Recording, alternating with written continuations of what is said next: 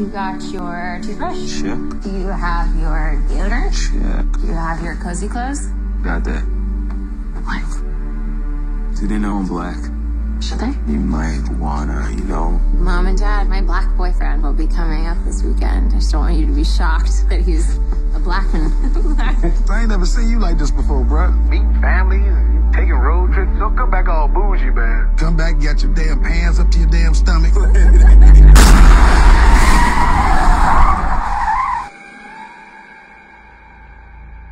So you guys coming up from the city? yeah, we're just heading up for the weekend. Can I see your license, please? He wasn't driving. I didn't ask who was driving. I asked to see his ID.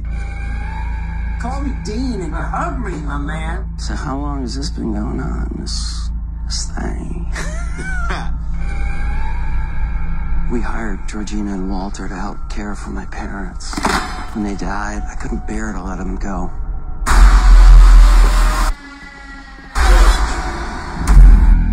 Smoke in front of my daughter? I'm gonna quit. She'd take care of that for you. How? Hypnosis.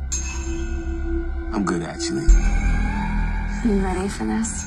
I'm back in the beat. so look, I go do my research. Apparently, a whole bunch of brothers been missing in this suburb. But it's cool. Bro, how you not scared of this, man? Good to see no brother around here. Chris was just telling me how he felt much more comfortable with my being here. Get out. Sorry, man. Get out! Yo! Rose, we gotta go. Is everything okay? Rose, the keys.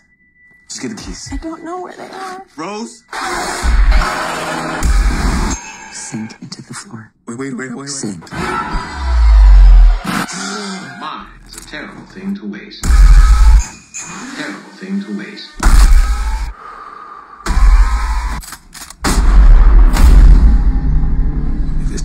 People, I get nervous.